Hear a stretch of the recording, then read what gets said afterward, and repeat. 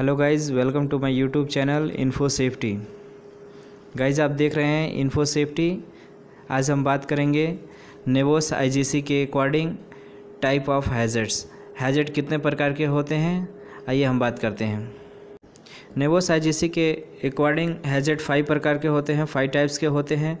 First है physical hazards for example electrical slipping noise vibrations etcetera और next हम बात करेंगे सेकेंड एग्ज़ाम्पल की।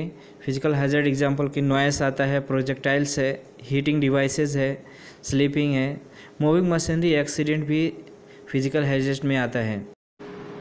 सेकेंड हैजर्ड्स केमिकल होता है केमिकल हैजर्ड्स आइए हम देखते हैं केमिकल हैजर्ड्स के example sulphuric acid acetone MDC etcetera ऐसे बहुत सारा केमिकल है जो केमिकल हैजर्ड्स में आता है।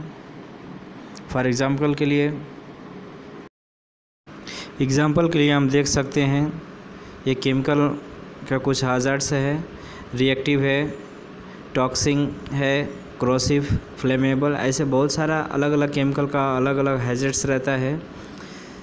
ये हैजर्ड्स कोई क्रॉसिव रहता है टॉक्सिक रहता है, कुछ भी रहता है, वो अलग अलग केमिकल के अकॉर्डिंग रहता है। जैसे कि आप यहाँ पे बहुत सारा केमिकल्स का यहाँ पे दिया है, आप पिक्टोग्राम देख सकते हैं।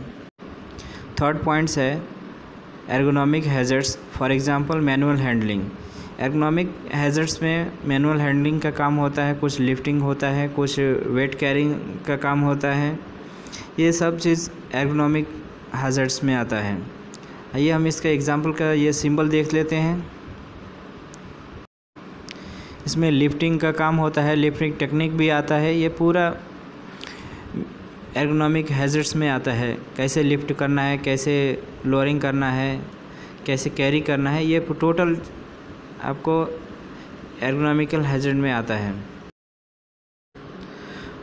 फोर्थ हैजर्ड्स है biological hazards for example leptospirosis virus H one N one COVID nineteen ये बायोलॉजिकल हैजर्ड्स है।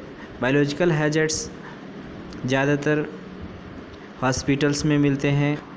बायोलॉजिकल हजार्ड का ये सिंबल होता है, जैसा कि आप देख पा रहे हैं। पांचवा और आखिरी हजार्ड साइकोलॉजिकल हजार्ड है।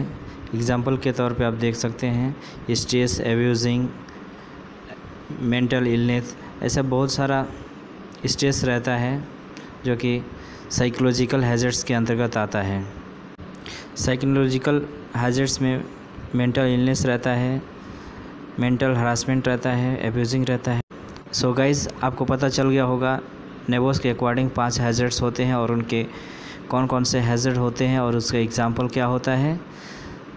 तो सो so गाइज़ ऐसे और भी हमारे health and safety related video पाने के लिए हमें चैनल को सब्सक्राइब करें लाइक करें एंड शेयर करें। So thank you guys watching for this videos thank you